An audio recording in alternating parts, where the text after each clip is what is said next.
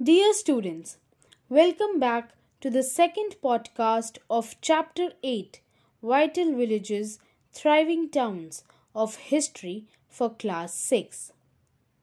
The next topic is the coins.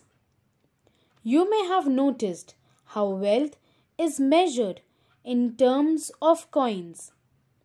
Archaeologists have found several thousands of coins belonging to this period.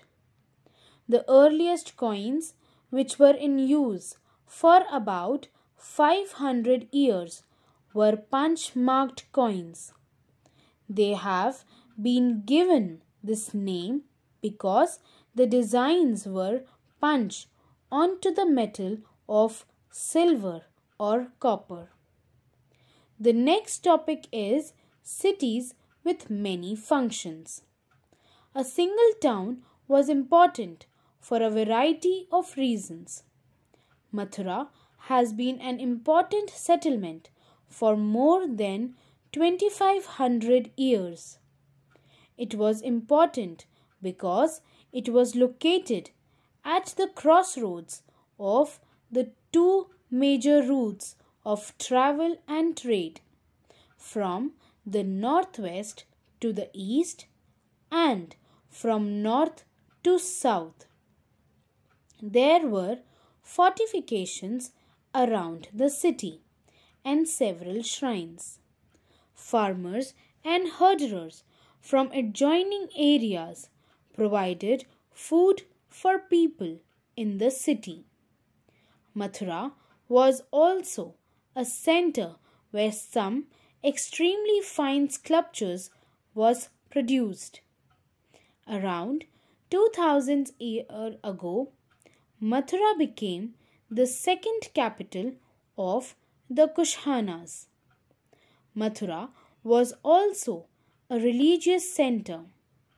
There were Buddhist monasteries, Jain shrines, and it was an important center for the worship of Krishna. Several inscriptions on surfaces such as stone, slab, and statues have been found in Mathura. Dear students, these are short inscriptions recording gifts made by men and sometimes women to monasteries and shrines. These were made by kings and queens, officers, merchants, and craftspersons who lived in the city. Now, the next topic is crafts and craftspersons. We also have archaeological evidence for crafts. These include extremely fine pottery, known as the northern black polished ware.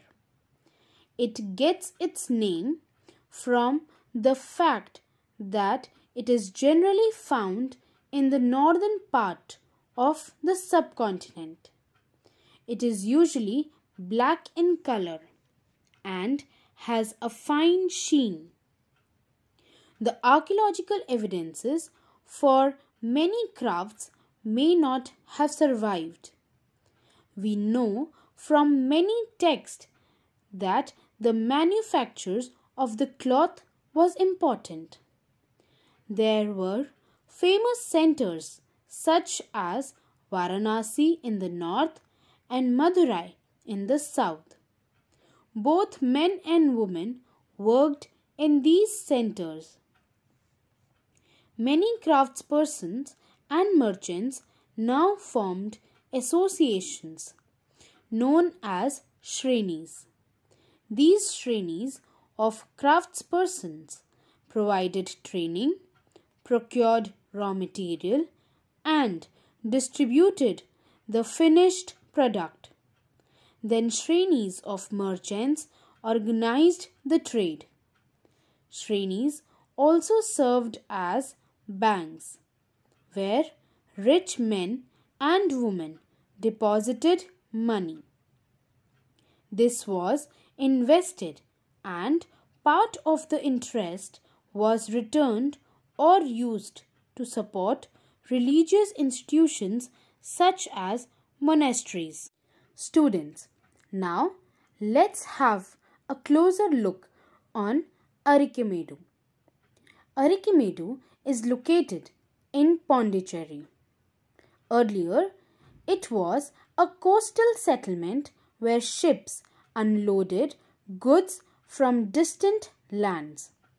A massive brick structure, which may have been a warehouse, was found at the site. Other finds include pottery from the Mediterranean region, such as amphora, tall double handled jars that contain liquids such as wine or oil, and stamped red glazed pottery known as Arretine ware, which was named after a city in Italy. This was made by pressing wet clay into a stamped mold. There was yet another kind of pottery which was made locally, though Roman designs were used. Roman lamps, glasswares, and gems have also been found at the site. Small tanks have been found that were probably dyeing vats used to dye cloth. There is plenty of evidence for the making of beads of semi precious stones and glass.